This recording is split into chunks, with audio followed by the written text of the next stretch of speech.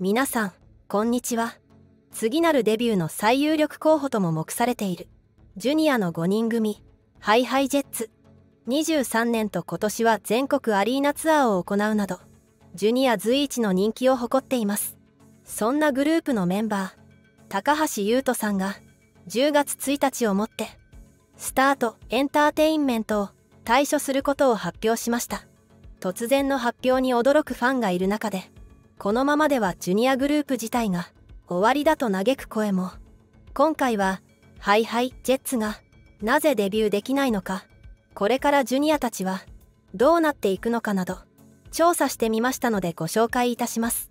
ぜひ最後までご覧ください。芸能タックル。事務所公式は昨年高橋本人から事務所を退所しこれまで学んできた経験を糧に新たなフィールドで人生をかけた大きな挑戦をしていきたいと将来についての相談がありましたと高橋さんが退所に至った経緯を説明。その後も高橋本人ハイハイジェッツメンバー会社間で話し合いを続けた末本人の意向を尊重し新たな道へ高橋を送り出すという結論に至りましたとし弊社としましても高橋優斗自身が選択した環境で今後活動できることが最も大切なことだと考えております。と理解を求めていました。高橋さん本人もジュニアのファンクラブサイトで動画でメッセージを投稿。本当に長い時間をかけてたくさんの方とお話しさせていただきメンバーともたくさんの時間の話し合いを重ねて今回の決断に至りましたと語り皆さんのおかげで高橋優斗のアイドル人生は最高でした。と頭を下げていました。今後に向けては一人間高橋優斗として皆さんが応援していてよかったなと思っていただけるような人間になれるように高橋優斗らしくギラギラたぎって爆心していきますと語っています。高橋さんは2015年高校1年生の時に芸能界入りし翌年にグループに加入。俳優としても日本テレビ。リモラブ。普通の恋は邪道。フジテレビ。彼女は綺麗だった。などに出演し昨年10月期には日本テレビドラマ「君が死ぬまであと100日」でドラマ単独初主演を果たしています。またプロ野球 d n a の大ファンとしても知られており3年連続で始球式を務めるなど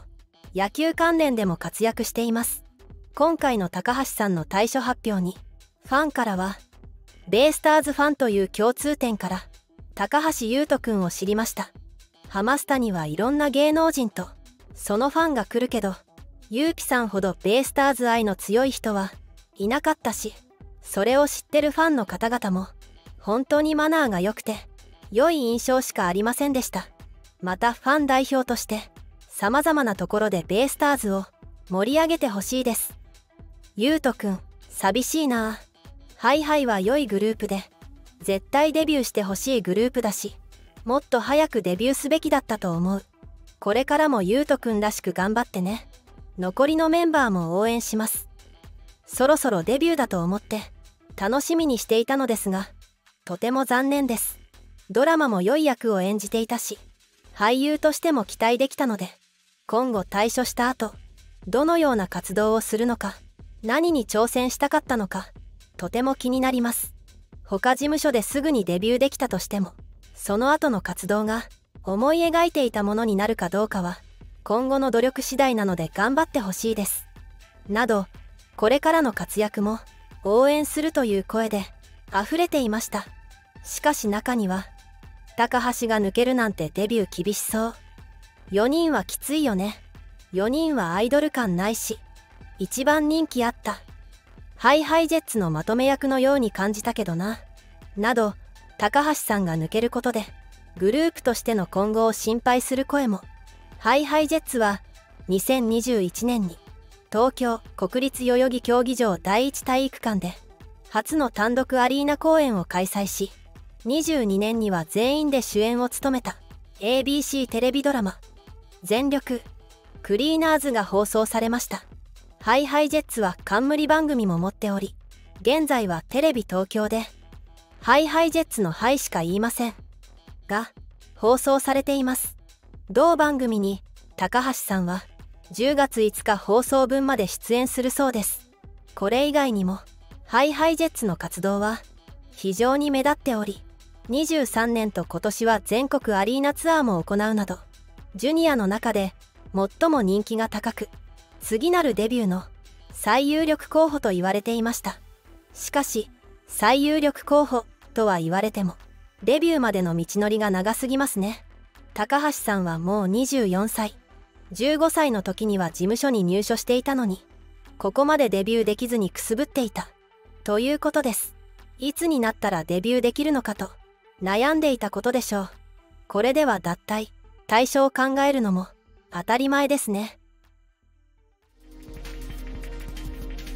芸能タックル。ジュニアのデビューといえば今年5月には5人組グループの A グループが念願の CD デビューを果たしました。HiHiJets もこれに続くのかと思われていましたが2015年に結成された HiHiJets と翌16年に結成された美少年との関係性についてが注目されていました。実際この両グループの同時デビューを期待しているファンは多いようです。そのためハイハイだけ先にデビューさせるのもファン心理を踏まえれば難しいとある芸能関係者は語っていました。しかし美少年はメンバーが起こしたシュークリーム騒動で当該メンバーが謝罪声明を発表。この時の騒動がデビューの妨げになったようで同時デビューが好ましいというのは